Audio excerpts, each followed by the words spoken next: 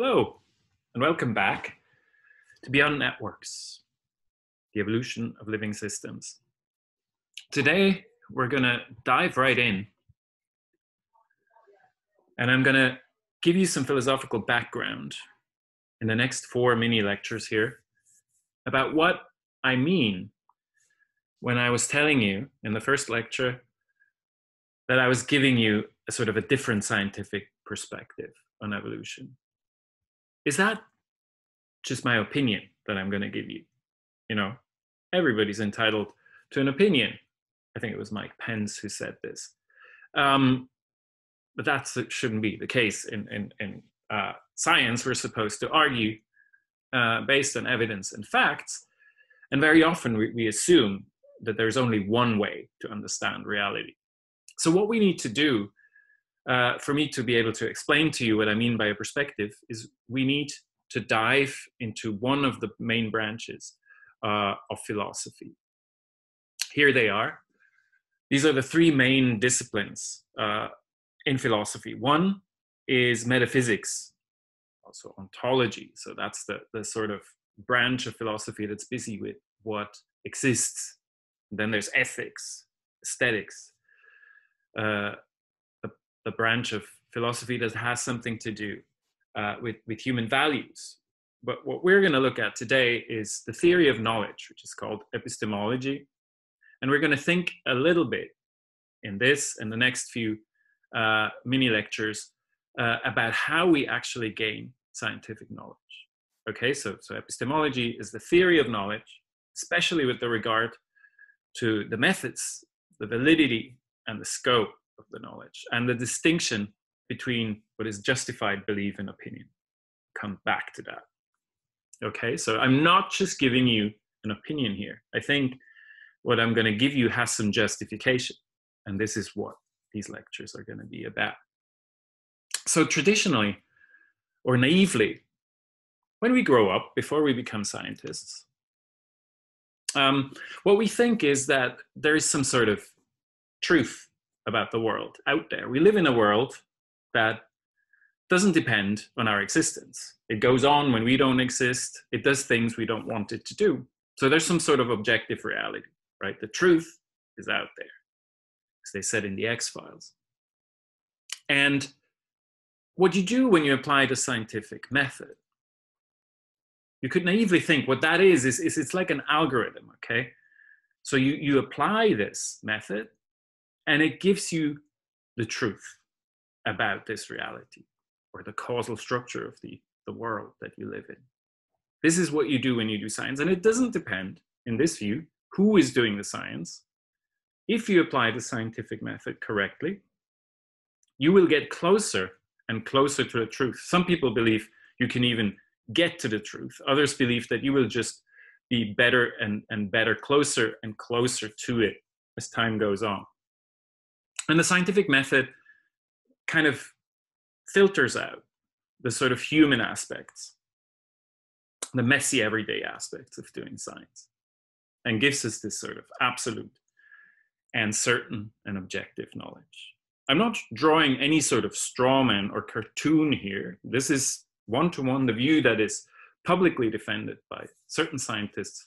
One of the most famous is uh, the physics Nobel Prize winner Steven Weinberg, who's written several uh, books about this, and he's in the search, uh, involved in the search of the final physical theory um, that he believes will represent a sort of a complete and accurate description of the universe. But he's not alone, of course. Everybody really starts out a sort, as a sort of a common sense realist. This is what this is. So basically, there's a world out there, and this particular view that, um, in the words of philosopher Hilary Putnam, uh, there is exactly one true and complete description of the way the world is. That view is called objectivist realism. Okay? And so, Putnam actually, I have to say, in this book that I'm citing here, is criticizing this view. And we'll see why it doesn't really hold up although it is sort of the intuitive way of thinking about the world. And it was a way that was defended very famously here in Vienna about 100 years ago by the uh, philosophers of the Vienna Circle, the logical positivists. Moritz Schlick is especially famous for um, being murdered on the stairs of the main building of the University of Vienna by his PhD student. We're not quite sure if it had something to do with the student being psychotic, a Nazi, or because Schlick actually slept with his girlfriend, maybe all three of them. But it's a pretty fabulous um, death for a philosopher, quite unusual. Philosophers rarely get shot, although they say outrageous things sometimes. Neurath, Rudolf Carnap, all these people formed a group that met every week to discuss uh, how you could ground knowledge in reality and how you could get rid of all the what they called metaphysics which was just you know idle speculation. So they said only statements that you can actually verify through empirical observation are even meaningful. So all your feelings your love for someone else is not meaningful in the view of the logical positivists. Okay pretty radical position but they came up with very strong and critical arguments. They were critical of each other as well and they disagreed on how you could verify empirical uh, statements about empirical observations. It very soon turned out to be an impossible project, unfortunately. And another Viennese uh, philosopher, who's maybe the most famous and well known philosopher of science among scientists today, Karl Popper, came up with a criticism that was pretty devastating and, and basically proof that the verification of such uh, knowledge, empirical observation, is a sort of a logical fallacy. So positivism is logically inconsistent. Instead, he said, uh, you can't verify a hypothesis that you have, but you can falsify it. Okay, so if it stays, uh, if your hypothesis states something that is uh, testable, then it can be refuted by the evidence. Okay, and that is not a, a fallacy. So we cannot really know whether our theories are true, but they are scientific theories if you can uh, falsify them. A very different view of how science creates knowledge. And this basic view is still true. We think uh, today that Popper's view was very uh, oversimplified, maybe the way that he thought that science works, but uh, the basic assumptions underlying his falsificationism uh, still apply today. There are more problems with certain, the idea of certain and objective empirical knowledge, if you think about it a little further. So one problem is the problem of sensation. All empirical knowledge needs to come into your, your brain through perception, okay? And so uh, what you see here is not a swan. It is a picture of a swan that is processed through your sense of vision through your eyes and your brain. And all you can experience is that image, that representation of the swan. You cannot represent, you cannot access what Immanuel Kant called the, schwa- the swan an sich, the thing in itself that's out there somehow in that real world that we assume exists. So that's a problem because, to make a, a long story short, our senses they may not deceive us. They may have evolved to be pretty good at detecting the relevant features of our, our uh, environment, but they are not absolutely trustworthy. And what's very important, we cannot make, uh, we cannot prove that we can trust our senses. Okay, so whether our senses are trustworthy or not is itself a sort of an empirical investigation on which you cannot ground empirical investigations on another empirical observation.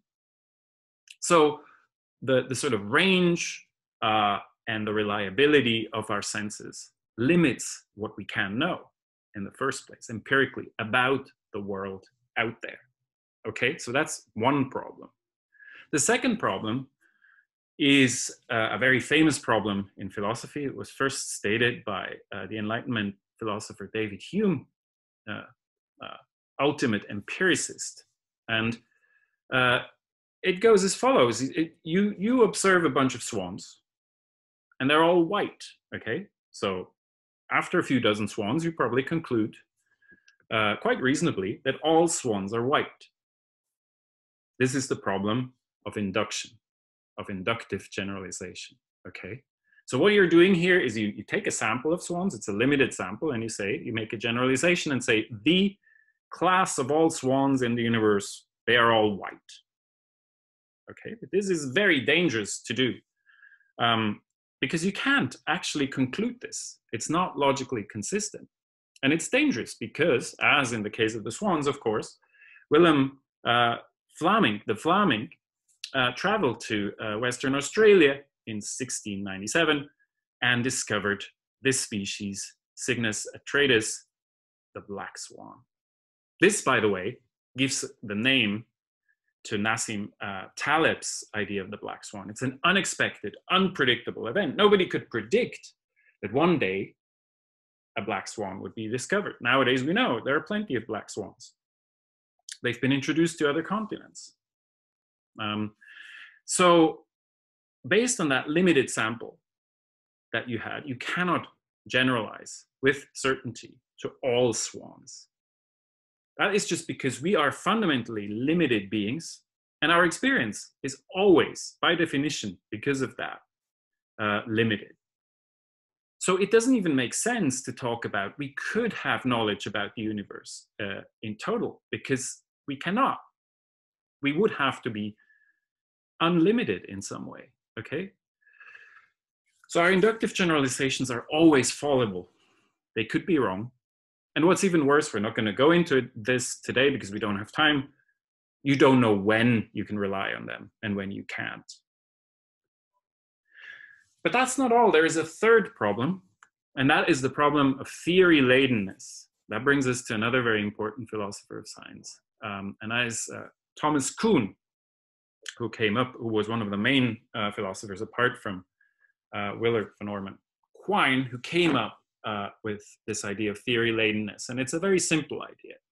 It just means that you're biased by what you've experienced before. So any observation or interpretation of data that you make depends on what you've experienced before. For example, look at this beautiful picture by the, the Hubble Space Telescope of the three pillars of creation in the Eagle Nebula about 6,000 light years from the Earth. What do you see here? You know, because you've seen it in the news probably, is a huge cloud of gas in space. But just think about all the things you need to know already before to make this sort of interpretation. You need to know about the existence of the Hubble Space Telescope. This picture doesn't show you visible light, but it shows you uh, infrared uh, and, and, other uh, ranges of the spectrum as well. So the green parts of the, the cloud are hydrogen, the blue, oxygen, red is sulfur, okay? And so this image doesn't really, this is not what you would see if you would look at this patch of space with your naked eye. So you need to know the theory of optics, you need to know about um, different wavelengths uh, of light. You need to know about the chemical elements these colors are representing. You need to know about the evolution of stars, and so on and so forth. This is a pretty contrived uh, example, of course, but if you think about it, if you just look outside and check what the weather is, you already need all kinds of sort of uh, assumptions um, to be able to reliably conclude it's raining. Okay. So we're bound to our biases and assumptions, and we cannot, we cannot basically, that's the basic truth, we cannot step out of our heads and see the world in a truly objective or maybe God's eye view. We'll come back to that observations and interpretations are always dependent on our assumptions. And those assumptions, they rest on previous experience and knowledge uh, we have about the world. So uh, one of the Vienna Circle uh, members, uh, Otto Neurath, he said, science is like, uh, the scientist is like a sailor that is rebuilding their boat while they're sailing on the ocean. We cannot just jump into the ocean and start from scratch. So, what we have to conclude here after this very brief argument, I have a lot more to say about this uh, in my philosophy course for scientists that I will put online hopefully in the summer. What we can say is that truth may be out there. We can be realists uh, about the world, it may be, but we'll never have of, of objective and certain knowledge of that world okay And uh, this is a, a, philosophical stance that is called fallibilism.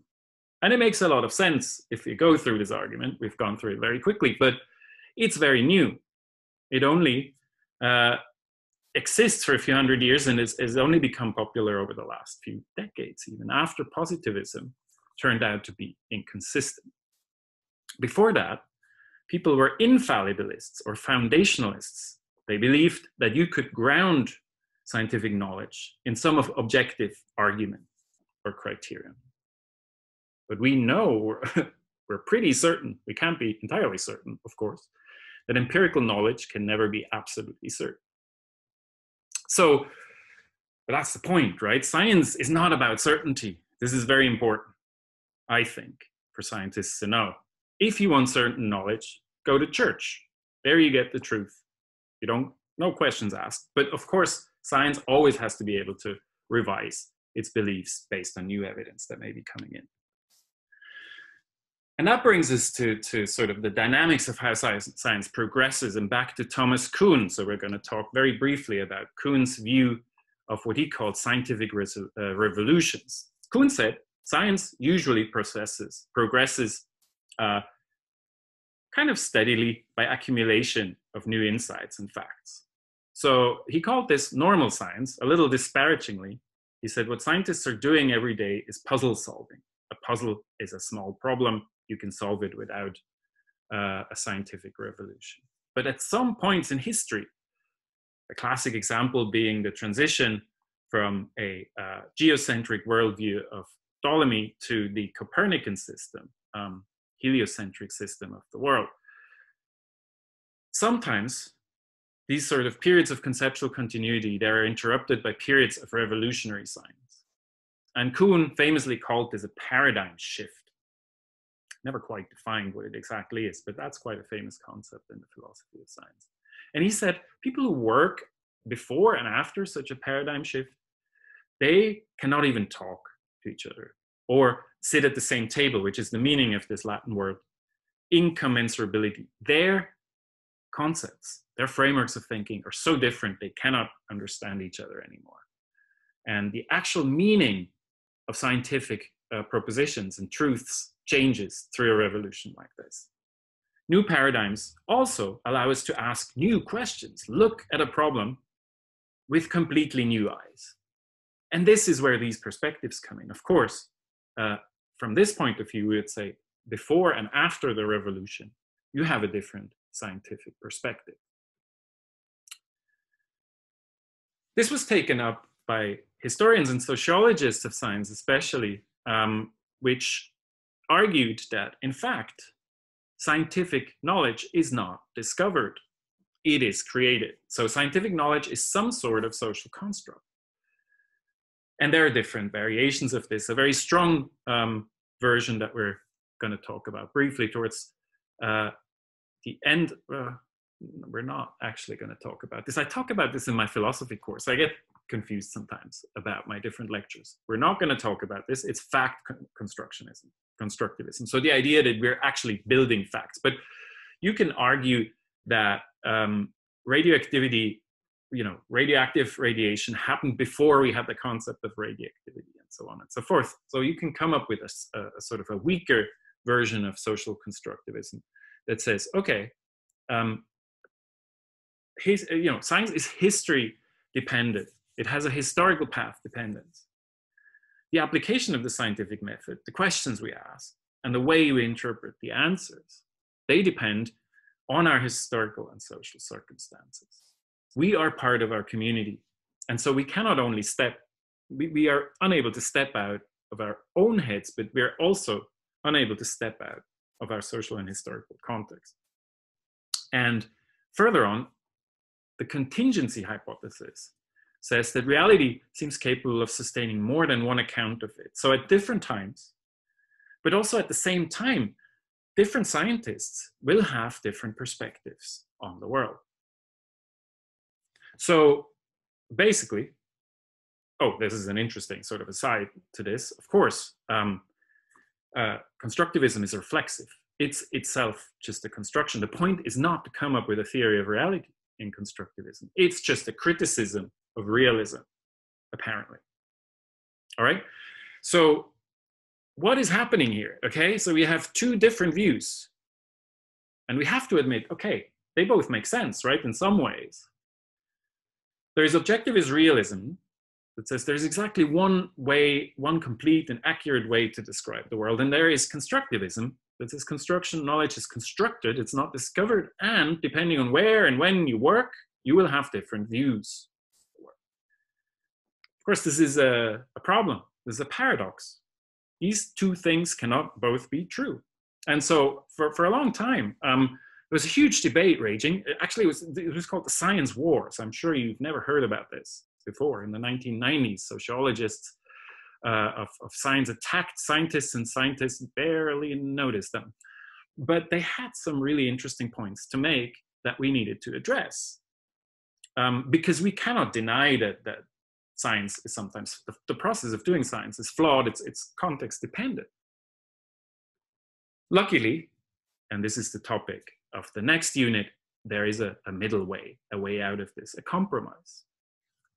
Okay, and this compromise is called uh, perspectivism, realism with perspective, perspectival realism. I'm going to use the next mini lecture uh, to take a wonderful book by Ron Giere, contemporary philosopher of science. It's called Scientific Perspectivism, and introduce the concept. And then we're going to sort of enrich that over the, the, the following two units uh, to make it practical and to come back to the question how can you justify scientific truths in this view? So, what perspectivism does is it realizes that the problem is not that realism, the belief that there's a real world, and constructivism, the belief that uh, knowledge is some sort of social construct, they're not incompatible. That's not the problem. You can believe in the real world that is out there, independent of your mind, and in your inability to comprehend it in its entirety because you are a limited human being. Any limited being will have this problem. So the problem is not uh, realism, the problem is objectivist realism. This idea that we apply the scientific method like an algorithm and we get independently of what's happening uh, in history uh, closer and closer to the truth. We need to leave this behind.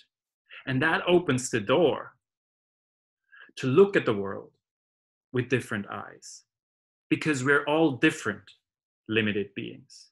And this will be the topic of the following lecture. Thanks for listening. Tune in soon when I upload the next unit.